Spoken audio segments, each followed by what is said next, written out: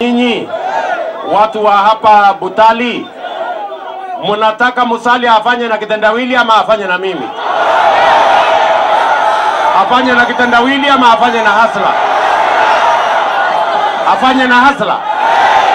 Hebu nione wale wanasema afanye na hasla, afanye na hasla, afanye na hasla. Mimi nauliza nyinyi, Wetangula hapa chini, mnataka Wetangula afanye na kitendawili ama afanye na hasla? Afanye na hasla.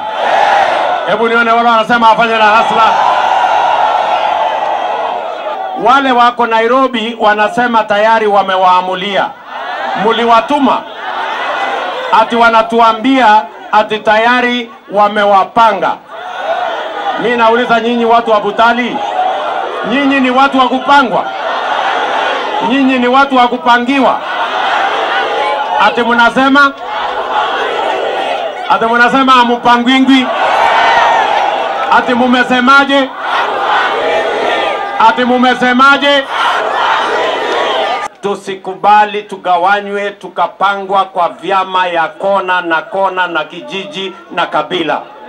Tujipange sisi wote katika chama ya kitaifa ambayo iko na uwezo wa kuunda serikali na kuunganisha Wakenya wote ili tuweze kutekeleza manifesto itakayopatia hawa vijana ajira. Si lazima kila mtu akuwe na track record ya ile kazi amefanya, ama ni aje?